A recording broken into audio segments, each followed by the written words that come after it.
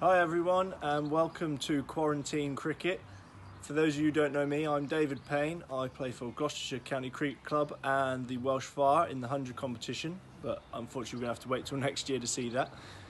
Uh, I'm here today to talk to you all about slower balls, but the first thing I'm going to mention is the great thing about these drills is that you can do them all in your back garden. You don't need to go to your local park or your local cricket club. This is just stuff you can do at home, no need to leave the house. Have fun in your garden with it. So, first of all, I've just got a tennis ball. Imagine there's a seam on it or anything. I would start normally when holding the ball, fingers either side of the seam, seam running down the middle. That's your traditional grip holding the cricket ball, I'm sure you all know that. First slower ball we'll look at is probably an off cutter, easiest one to bowl, probably the one I enjoy bowling most.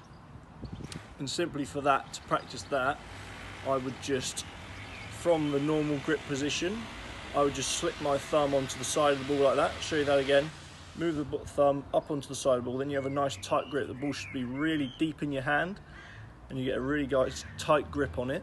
From there, you're just going to try and bowl the ball as quick as you can, like an off spinner, so for one ball, when you do this, you become a spinner. We're not fast bowlers for this one. You bowl it as fast as you can, still turn your arm over as quick as you can, but you're going to roll your fingers down the side like you're bowling an off spinner.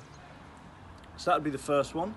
Second one we'll look at is the split finger. So again, from your normal grip, all you would do is put your fingers as wide as you can, either side of the ball. This way, you're not going to be able to generate too much pace you can turn your arm over again as quick as you can but because of the split finger there's not any fingers behind the ball to generate the pace. So when you let when you should let go of the ball there shouldn't be as much behind it and it'll come out a lot slower. Another one for you to have a go at. Third one probably quite a, a popular one at the moment is the knuckleball.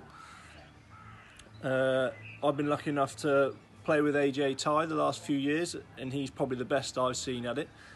Uh, if I show you the grip first of all, of when the ball's in your hand, what you're looking to do ideally is these two, your two fingers, your index and your middle finger, you're going to try and get those two knuckles onto the ball, if you can see that, with your thumb underneath. Now if you can't, if your hands aren't quite big enough to do that, there is another way. If you use your, just your middle knuckle, middle knuckle on the ball, thumb underneath again, and use the two fingers either side just to help hold the ball. That's another way you can do it. This is, I say, two knuckles on the ball there. That's probably the, the best way to try it if you can, but no problem if your hands aren't big enough yet. Another great thing with this one, what you can practice is start with just in your hand, but see if you can get it to a point the more you practice where as you're running in, as you're about to bowl, you think about how you would load up. So you want to run in, try and deceive the batsman, try and keep it as normal as you can running in, then when you look to load up, show you from side on, you roll the ball back into your knuckles. So that's why AJ Tye's so good, that he, you get no cue that he's going to bowl it because he runs in, it looks like he's going to bowl a normal, normal ball, just as he's load, loading up, he rolls it back into his hand like that. Amazing skill, great one for you guys to try at home. And the fourth and final one is the back of the hand slow ball. This one actually requires no grip change whatsoever. So you can just hold the ball like you would if you're going to bowl a normal delivery. Then this is simply a case of shoulder, shoulder rotation. So instead of your normal shoulder coming over and the ball being flat out like a normal delivery, you're just going to try and turn your arm over and you're going to release the ball at the back of your hand. This probably is the biggest deception in terms of pace drop.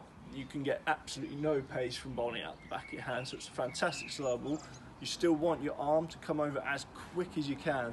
Really crucial point in that. So you're still trying to bowl it as fast as you can. You can turn your hand on it the last minute. Okay, so there's four different slower balls for you guys to have a go at. Hope you have fun with them. As I say, importantly, make sure you're just practicing this in the, in the garden. Check with mum and dad that it's safe for you to do so. Uh, yeah, and have fun with it. This is Quarantine Cricket.